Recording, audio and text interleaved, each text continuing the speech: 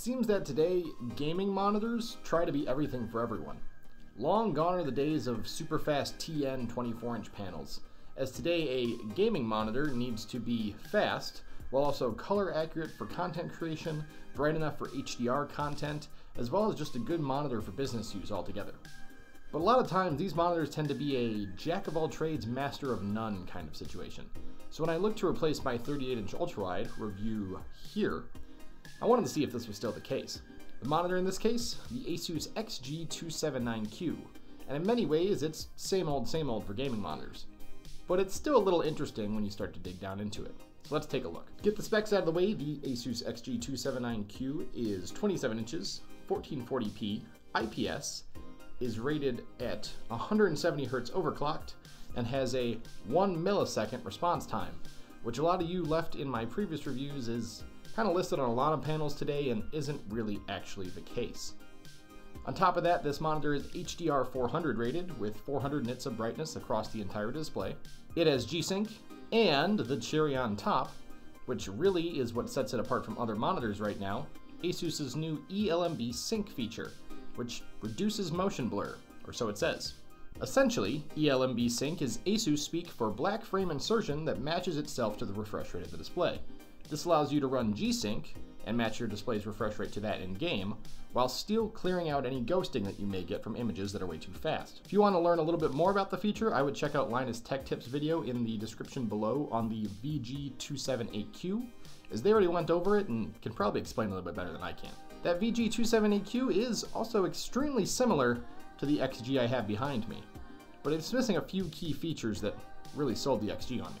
Those two features being the HDR 400 spec on the panel and the DCI-P3 rating of 95%. While the HDR 400 spec wasn't bright enough for true HDR content out of the box, SDR content was extremely good to look at, with everything being bright and accurate in games, Netflix, and just general business use, even before I broke out my trusty Spydercolor 3 to calibrate it. The menu system on the XG was extremely easy and intuitive to use, with every option being in the appropriate submenu that you'd think it would be in. My only gripe is I do wish that the buttons were not on the side of the monitor, even though I admit this probably isn't going to be an issue for most of you unless you run a second panel up on the right side. I still wish, however, that Asus would take on an approach more like Dell, um, where they have buttons right on the bottom of the display, or even LG, which is the one thing that they usually get right, with that little joystick straight at the bottom of the stand.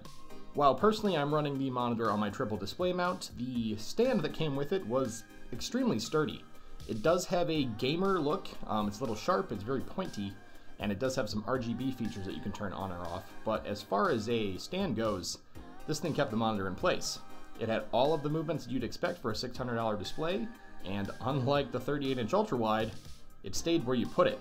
See here, as I move it up and down, there's no sag. It's kind of good.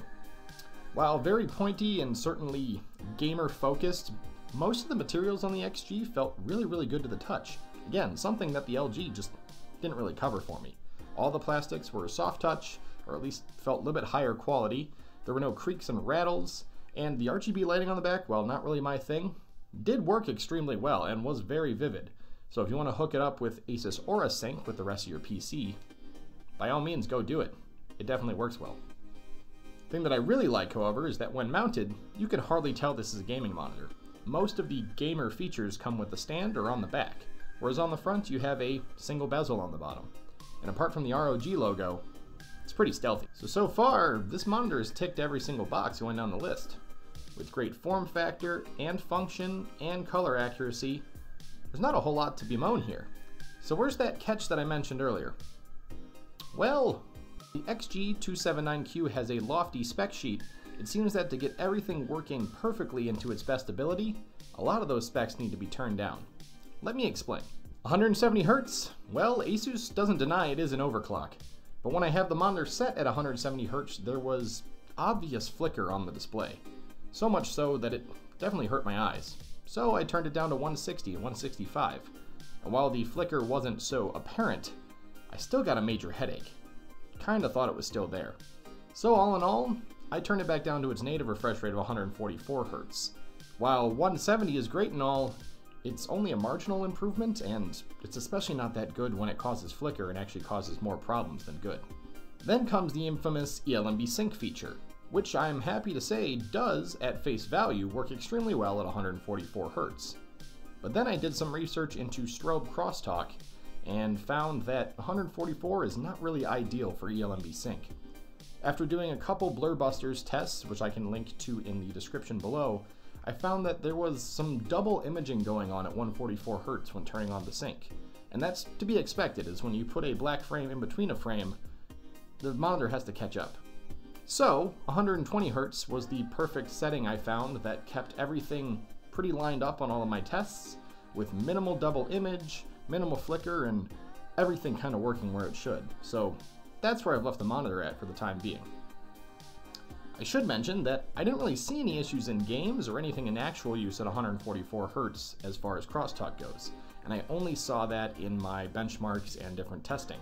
All in all though, I still left it at 120 Hz just to you know, give myself the peace of mind that everything was working properly. So according to the numbers on the box, we've already crossed out the refresh time and the ELMB sync feature working to the best of their ability. So what's next? Well, I had to take a look at that 1 millisecond claim. And as far as that goes, I'm actually pretty happy to say it performed pretty well. While not a true 1 millisecond across the board, in any of the tests that I performed, I got anywhere from 1.6 milliseconds to 2.2. So while not exactly what it said on the box, which most monitors aren't anyway, it was a pretty damn good performer for everything considered. As for the other features, uh, well, never turn on the variable backlight. This thing doesn't have enough zones to make any sense and just makes it a blotchy mess, so always leave that off. And for HDR 400, you're really not going to be using that to watch HDR content on this display. To me, the HDR 400 spec was just enough saying that you can get to 400 nits without ELMB sync on. And with ELMB sync on, the monitor was bright enough to still be usable, as that really tanks the brightness when you turn it on, I'll tell you that much. If you think about it, putting a black frame in between every single frame really is going to limit the amount of light that you can shoot through the display. So with ELMB Sync on and all the features I have set, I gained a consistent 150 nits of brightness, and that was color calibrated. Otherwise, probably was able to get to 160 or 170 nits across the entire panel comfortably. And I'm going to be honest, it's more than enough. Most of us run our monitors at super, super high brightnesses, and I tend to think it's not really the best case. So color calibrated at 150 nits, I'll take that as a win, especially when I can leave ELMB sync on at all times. So after all of this info, where does the XG279Q stand for me? Well, I still freaking love the thing. Running at 120 Hz with ELMB sync on, and everything else set to the settings I mentioned above, it just feels natural, and it feels like, honestly, one of the most responsive and best gaming monitors that I've ever used, even once you turn down the settings. Am I blown away by eye-popping HDR? No. Is it the highest refresh rate I've ever used? No. But on all accounts, this monitor performs great, as the specs I have it set at, and it's really the best monitor for me, as I'm one of the few who needs this monitor to be everything for everyone, and not just a top performer in one class.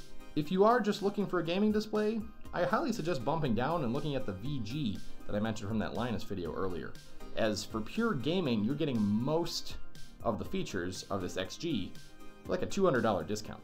Also, maybe look at some 24 inch or 240 Hz 1080p panels, as if you really, really don't care and you just want something that's stupid fast, there's plenty of those out there. If you're looking for a monitor solely for entertainment and color correction, honestly give the LGs that I use on the side a try.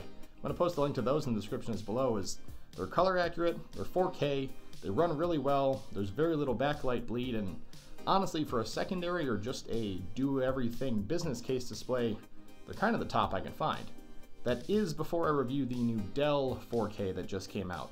We'll see about that next week. But if you need something that can do everything at a good to great level while maybe not being best in class in gaming or in color, the XG is perfect, and I can't recommend it enough for a one monitor setup or just someone that needs a display that they don't have to worry about it slacking in any side. The XG279Q is going to be my daily driver display for a long time. Are there more monitors on the horizon? Yes. Will one of them maybe take the crown? Yes. But I'm having a hard time finding any reason that I'm going to have to switch this out in the next one or two years. So, that's the review. If you liked it, give it a like. If you disliked it, slap a dislike. Hoping to have a couple reviews out this week as I've been sitting at home doing nothing besides making videos for a while, so those should be out pretty soon. Feel free to check all the links down in my description, um, and if there's anything else that I need down there, feel free to let me know in the comments.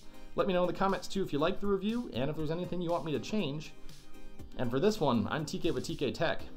I'll see you guys in the next video.